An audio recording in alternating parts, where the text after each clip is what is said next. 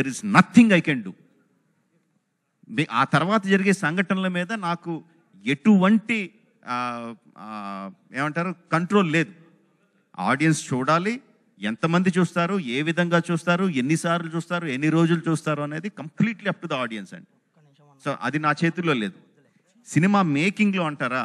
ఇప్పటివరకు మాట్లాడాను. వాళ్ళిద్దరూ ఎంత మంచి ఫ్రెండ్స్ దాని మూలంగా నాకు నా సినిమా ప్రేక్షకులకు ప్రేక్షకులకి ఎంత అద్భుతంగా రీచ్ అవుతుంది అని.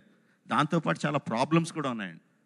వీళ్ళిద్దరితో ఎన్ని ప్రాబ్లమ్స్ అంటే నేను ఒక సినిమాని ఒక మూడు వందల రోజులు షూట్ చేసి ఉంటే అట్లీస్ట్ ఒక twenty five twenty five days వీళ్ళిద్దరు మూలంగా వేస్ట్ అయిన రోజు.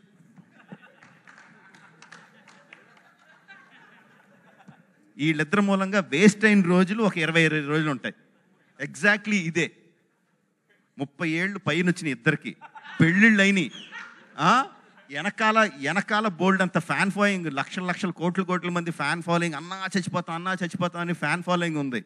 సెట్లో జక్కన్న చరణ్ గిల్లుతున్నాడు అన్న వచ్చి కంప్లైంట్ చేస్తాడు. ఈయనేమో ఒక అమాయకం ఎక్స్ప్రెషన్ లేదా లేదే నేను నా లైన్స్ చూసుకుంటున్నానే అంటాడు. లే జక్కన్న గిల్లేడు అంటాడు. నేను గిల్లేదు సార్ అంటాడు. ఎగ్జాజరేషన్ లేకుండా పది పదిహేను నిమిషాలు వెళ్తా ఉంటుందండి. చూడలేదా ఎప్పుడు ఆపాలి? మీరు చూడలేదా? నేను చూ- మీరు చూడలేదా? చూసి ఏం చేశారు? పెదరాయిలో మీరు అక్కడ కూర్చొని ఇది ఏ- చేశారు? నవ్వడం తప్ప. ఈ రోజు ఇక్కడ చెప్పగలరా? కూర్చొని ఏడుస్తున్నారండి. ఆ, ఆ రోజు? నవ్వడం తప్ప. ఆ. రోజు ఏం చేశారు? ఆపారా మీరు? ఆపారా? నా మీద దాడిని ఆపారా మీరు? ఖండించారా మీరు? Hello hello. నా మీద ఆయన దాడి చేస్తుంటే ఆపారా మీరు? ఎవరు దాడి చేశారు? ఏది? ఎవరు ఎవరు దాడి చేశారు? ఆగండి అనుకుంటే అక్కడ తగిలింది. అది ఎవరు ఎవరు దాడి చేశారు? చెప్పు. అదే అడుగుతున్నావు అదిగో. సార్ సార్ రాజమౌళి గారు. ఐ హ్యావ్ సార్ రాజమౌళి గారు. అయిపోయింది అయిపోయింది. రాజమౌళి గారు. చెప్పండి.